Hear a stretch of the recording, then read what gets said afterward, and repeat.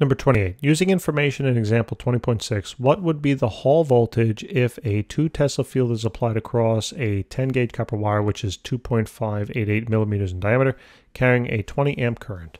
So um, take, check out number 22 as a review for Hall voltage. This one's going to get a little more complicated, but it shouldn't be bad. So Hall voltage here, E, is going to be equal to the magnetic field applied multiplied by the path length, okay, uh, then multiplied by the velocity of the moving particles. So the uh, we know B, they told it to us. It's going to be 20.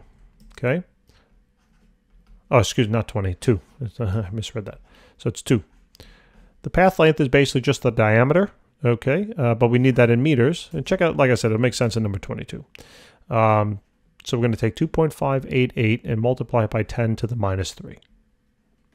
And now we need the velocity, but we don't have the velocity. What do we have instead? We have the current. So somehow we have to relate current to velocity.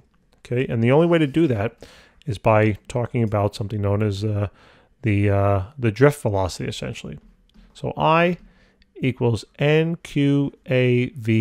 In other words, the um, density of the charges in the material that you're talking about in this case is copper times the charge all right, of each um, electron basically that's flowing times the cross-sectional area of the wire um, times the drift velocity. So in other words, these two are equivalent.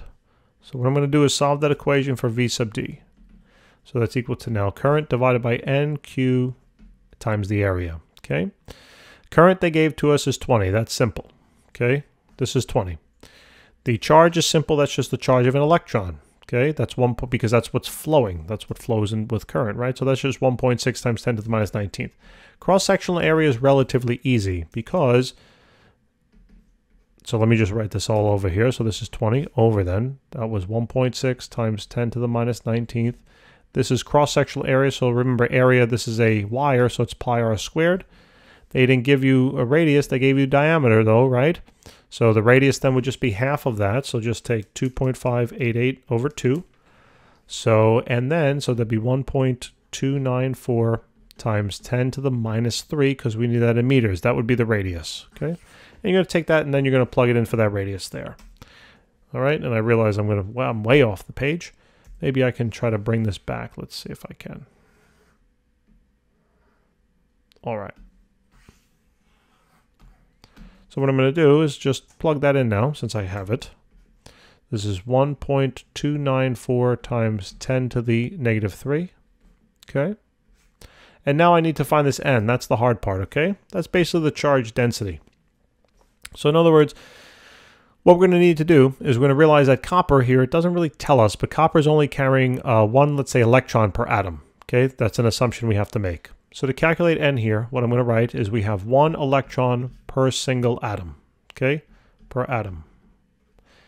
Now, what I need to do is I have to somehow, you know, I'm going to be using its density at some point, okay? So what I'm going to have to do is I have to try to get to mass somehow. So I have to go through like Avogadro's number and all this. So I'm going to do atoms and mole on the bottom. There's 6.02 times 10 to the 23rd atoms per mole, all right? Notice the atoms will cancel. Now I got to get rid of moles, so therefore I need the molar mass of copper. And the molar mass of copper is about 63.54 grams per mole. Mole goes on the top because I want them to cancel, right? So now notice the atoms are gone, the moles are gone, I'm left with grams, but you know this is physics, so we don't want grams, we want kilograms. So you got to get rid of the kilograms. Uh, so 1,000 grams is equal to 1 kilogram. See you later, gram. And uh, now, right, uh, I need to somehow find, you know, the I need I have electrons here, right? I got to find the electrons per volume. So now I need the density, all right? So basically now kilograms on the top, cubic meters on the bottom, and this is a known density that it's 8 point for copper that is. This is 8.8 times 10 to the third kilograms for every cubic meter.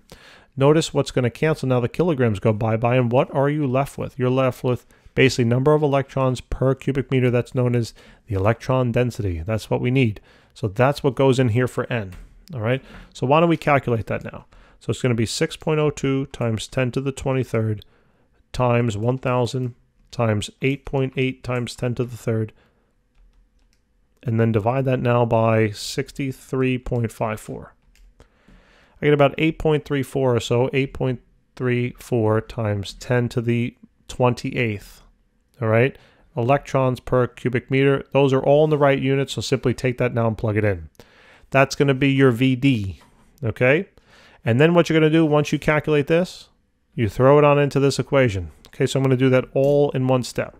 So let's start with the 20 over there on the right-hand side. So 20 divided by now parenthesis.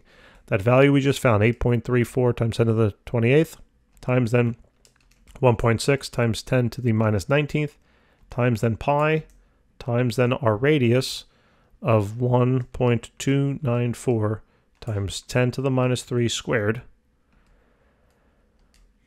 I get a value of about 2.85 times 10 to the minus minus fourth, and now throw that on into the whole equation there. So multiply that answer by 2, then multiply it by 2.588 uh, times 10 to the minus 3. So I get a voltage here, hall voltage of about now, looks like, what is it? 1.48, I guess, 1.48 times 10 to the minus sixth. And that'll be in terms of volts, all right? You can do microvolts if you want, it doesn't matter. But that's it, all right? So hopefully that helps, guys. Um, complicated problem, but not terrible. So uh, yeah, anyway, I will uh, look forward to helping you with more problems, all right? I'll see you uh, soon. Take care.